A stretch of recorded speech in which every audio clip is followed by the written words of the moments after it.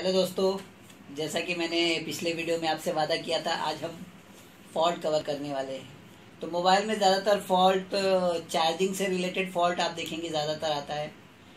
Charging छोड़ रहा है, या तो नहीं हो रहा है, या तो दिखाता है, बढ़ता नहीं है।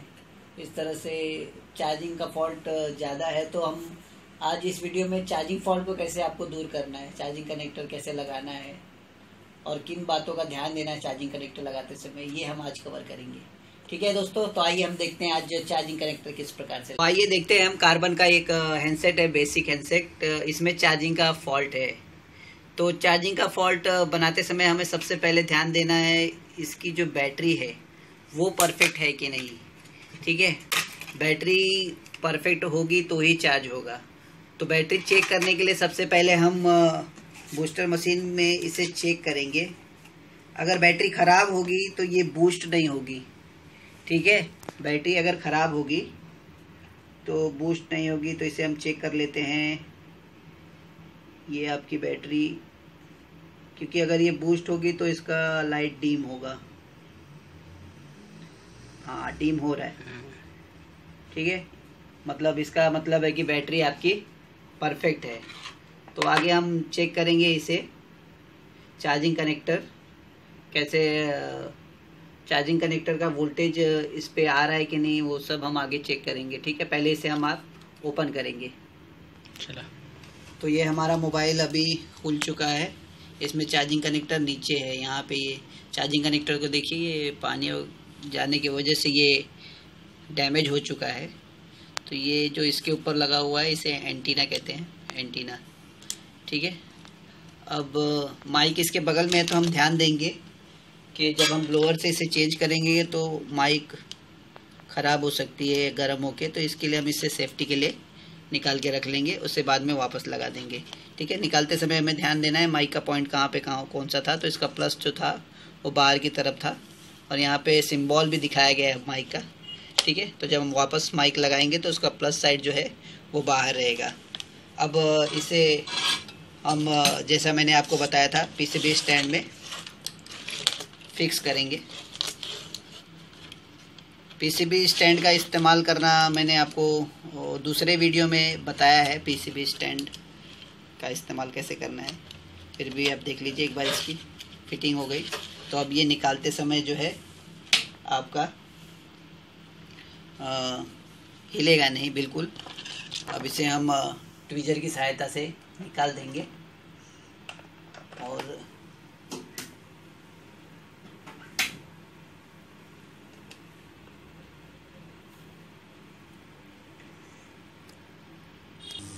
तो आइए हम अब ब्लोअर की सहायता से इसे निकालेंगे।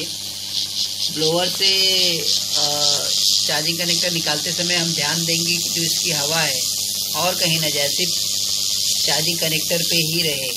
उसके अलावा और किसी कंपोनेंट को ना लगे। इसके लिए।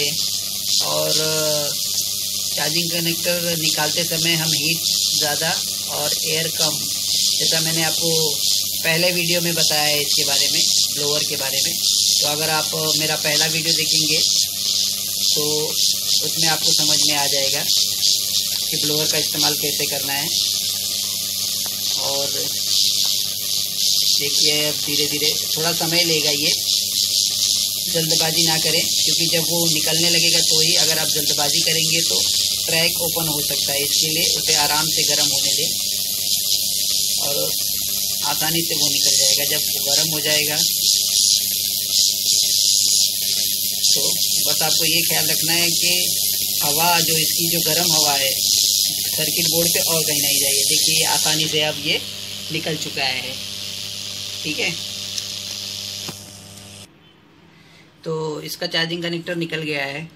चार्जिंग कनेक्टर समय चार्जिंग कनेक्टर लगाते समय हमें ध्यान देना है, इसकी मजबूती पे, ज़्यादातर इसकी मजबूती पे ध्यान देना है, क्योंकि हम कनेक्टर लगा के देते हैं, फिर दो दिन बाद वापस उखड़ जाता है। इसके लिए इसके जो लेग और इसकी मजबूती है, इसको ऊपर ज़्यादा, इसके ऊपर ज़्यादा ध्यान देंगे हम। तो पहले जो इसके जो होल है जिसमें ये बैठेगा, उसको हम अच्छी तरह से साफ़ कर लेंगे और वो उस होल को हम डिज़ोल्विक की सहायता से क्लियर करके फिर उसे आराम से बिठाएँगे। ठीक है तो इस पर हम पहले पेस्ट मार देंगे। पेस्ट मारने के बाद, जैसा कि मैंने आपको बताया है वीडियो में डिसॉल्विंग जो रहता है, ये जो शोल्डर है इसको वापस मतलब खींचने के काम आता है। ठीक है तो अब इसकी सहायता से हम इसका जो होल है ये ये जो पूरा पैक है इसके होल को क्लियर करके इसे आसानी से बिठा के और उसके बाद शोल्डर की सहायता से इसे मजबूती देंगे। ठीक है? तो इसके लिए हम बड़े आयरन का इस्तेमाल करेंगे। इससे क्या होगा? ये गर्म ज़्यादा होता है और आसानी से ये खींच लेता है।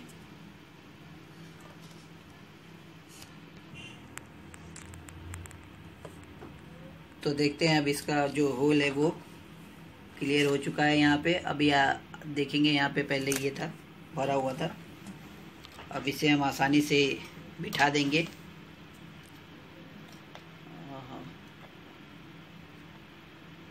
बिठाने से पहले एक बार यहाँ पे पेस्ट लगा देंगे, ताकि जब इसे शोल्डर करें तो वो आसानी से पकड़ ले। ठीक है? और एक बात इसमें ध्यान देनी है, जो चार्जिंग कनेक्टर, जो चार्जिंग कनेक्टर का जो चार्जिंग कनेक्टर का जो पॉइंट होता है चार्जिंग वाला, इसमें दो ही पॉइंट होते हैं प्लस माइनस तो ये जो आपका एक फ़र्स्ट एंड एक लास्ट फ़र्स्ट वाला जो है इस इस तरफ़ का जो फ़र्स्ट है, ये आपका प्लस पॉइंट है और ये आपका माइनस पॉइंट है यहाँ पे जो। ये जो आपका माइनस पॉइंट है और ये प्लस पॉइंट ये अच्छी तरह से शोल्डर आपका हुआ है कि नहीं, वो एक बार आपको कंफर्म लेना है कर लेना है।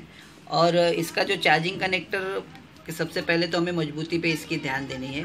तो ताकि ये अच्छी तरह से बैठ गया है, अब ये दोबारा उखड़ेगा नहीं, इसका ख्याल करना है। ठीक है? तो अब हम इसको शोल्डर करते हैं। इसके लेग को आपका शोल्डर तार।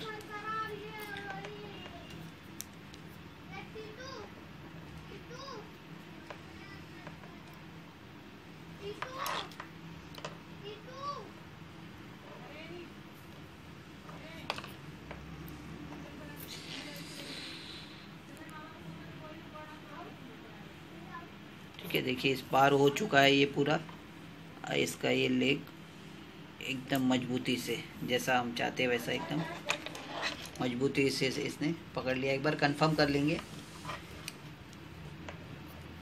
मजबूती अच्छी तरह से देना है। आगे यहाँ से भी इसको हम मजबूती दे देते हैं। क्यों इसका इस्तेमाल जो है डेली बेसिस पे यूज़ होता है आपको? अदर कोई काम करेंगे नहीं करे या ना करे, लेकिन चार्जिंग तो उसको डेली करना है। और उस हिसाब से इसका प्रॉब्लम भी ज़्यादा आता है चार्जिंग का। और मजबूती पे इसलिए हमें इसका ज़्यादा ध्यान देना है कि कहीं ये जल्दी से उखड़ न जाए। तो अब लगभग ये मज़बूत हो चुका है। अब इसका जो प्लस और माइनस पॉइंट है, जैसा मैंने आपको बताया था चार्जिंग कनेक्टर के लिए दो ही मेन है प्लस और माइनस पॉइंट ठीक है? तो अब हम उसको शोल्डर करेंगे। वो ये बड़े वाले आयरन से नहीं हो पाएगा। उसके लिए हमें अपना जो रेगुलर आयरन है उसका इस्तेमाल करना है। आ, ये जो आपका पतला वाला है इसका इस्तेमाल करना है। ठीक है? तो ये हम इसके प्लस और माइनस पॉइंट को शोल्डर कर देंगे। ठीक है? ये इसका प्लस पॉइंट और ये इसका माइनस पॉइंट। ठीक है? चलिए अब इसको हम कंफर्म करेंगे चार्जर लगा के ये चार्ज हो रहा है या नहीं। तो अब ये चार्जिंग कनेक्टर लग चुका है। एक बार पैक करने से पहले हम कंफर्म कर लेंगे कि चार्ज हो रही है नहीं। क्योंकि पैक करने के बाद अगर चार्ज नहीं हो रही तो फिर से पूरा खोलना पड़ेगा मोबाइल तो इसके लिए हम एक बार ओपन में ही चेक कर लेंगे कि हमारा फॉल्ट ओके हुआ है या नहीं। तो चार्जर हमने लगा दिया है।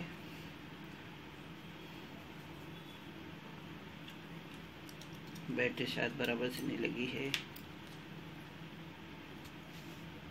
हाँ ये देखिए। ये कनेक्टर हमारा लग चुका है और मोबाइल चार्ज भी हो रही है। ठीक है?